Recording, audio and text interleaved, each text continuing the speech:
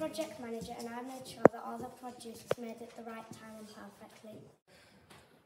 We created the business plan and contacted the animal concern Cumbria to let them know that we are raising money for them. We are the finance team. We worked out our profits and losses. We managed how much money we made. I made the logo. We worked out the grand total. And it was £937. Hi, we are the design team. We created posters and signs for all the stalls. And also we made packaging soap and wreaths.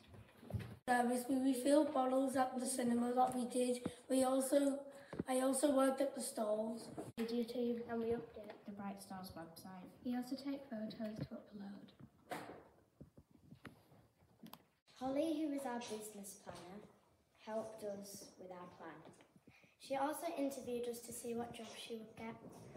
Our grand total is £937. We gave it all to Animal Concern Cumbria.